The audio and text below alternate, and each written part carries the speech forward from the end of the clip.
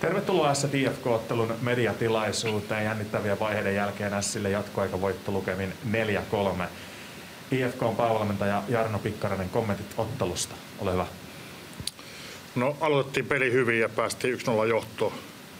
Hyvä ensimmäinen puolikas ensimmäistä erästä, mutta sitten ehkä loppua kohti se rupesi vähän, vähän kääntymään äsille ja saatiin toiseen erään alkuun. Hyvä, hyvä ryhti ja päästiin siihen 2-0 johtoon, mutta sitten kriittinen vaihto, vaihto, maalin jälkeinen vaihto, menetettiin kiekko tuolla hyökkäyspäässä ja ässät pääsi kuittaa siitä ja sai momentumin sitten, sitten siihen erään loppuun. Ja kolmannessa saatiin jauhuttua se maali, mutta sitten tuossa lopussa harmittomasti aloitustappiosta herähti omissa ja jatkoajalla kävi niin kuin kävi, että pettynyt fiilis. Minkälaisin ajatuksin nyt sitten huomista kohti? Mitä hyviä asioita haluat tästä tän illan pelistä ottaa tuohon huomiseen matsiin Tapparaa vastaan? No tietenkin tästä pitää sisutua aina tämmöisestä hetkestä, että se on, että miten tästä ponkastaa eteenpäin, niin se on se tärkeä juttu. Selvä, kiitokset haastattelusta menestystä huomiseen matsiin. Kiitos. Sitten jatketaan lehdistötilaisuutta. Sien virkaa tekevä päävalmentaja Pasi Arvonen. Onnittelut voitosta ja kommentit ottelusta. Ole hyvä. Kiitos.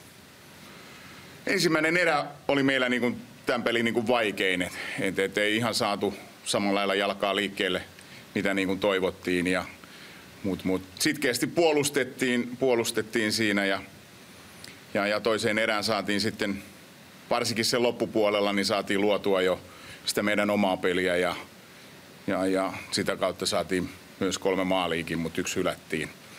Hylättiin taas sitten siinä, että et, et, sitkeästi taisteltiin toi kolmas erä, että vaikka siinä kaveri pääsi roi, roiskaseen tota noin maalin, niin, niin, niin, tultiin takaa vielä ja sitten hieno, hienon kuvion päätteeksi sitten saatiin ratkaisu tänään. Et hyvä, hyvä nousunjohteinen ottelu. Miten iso hetki se oli ottelun lopputuloksen kannalta, että S pystyi heti tässä klassisessa maalin jälkeisessä vaihdossa kuittaamaan sen IFK 2-0 maalin kahteen yhteen? No totta kai se vaikuttaa siinä, että, että, että oli hyvä, hieno, hieno hyökkäys siinä ja tota, noin hyvin killinen paino sen sisään. Että, totta kai se antaa uutta virtaa ja puustia siihen. Kolmannessa erässä aikalisän jälkeen taisi kolme sekuntia kulua, kun kiekko oli verkossa. Pakko kysyä, että oliko suoraan se piirretty kuvio, mitä halusittekin? No ei se nyt ihan semmoinen ollut, mutta pääasiat maali. Entäs jatkoajan ratkaisu, miten kuvailisit sitä? No se on, se on tota noin hieno, hieno kuvion päätteeksi maali.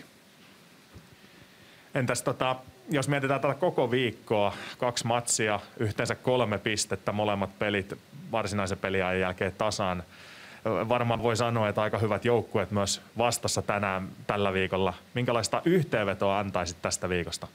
No joo, enemmänkin oli tarjolla, tarjolla tota, noin varsinkin Tapparaa vastaan, Tapparaa vastaan, mutta kyllä mä sillä tyytyväinen, että kolme pistettä ton tasoisesta joukkueista, niin, niin, niin täytyy hattuun nostaa pelaajille ja olla tyytyväinen niihin. Nyt sitten ensi viikolla saadaan sitten pelata ensimmäinen Sien osalta neljän ottelun viikko, niin minkälaisia ajatuksia tässä kohtaa tuosta ensi viikosta? No varmasti tulee kova, kova viikko, että toivottavasti saadaan tuolta sairastuvalta äijää, äijää takaisin tähän, tähän ryhmään, että tota noin jokaista tarvitaan ja kova, kova rupeama tulee olemaan. Että toivottavasti selvitään ilman loukkaantumisia toi ensi viikko.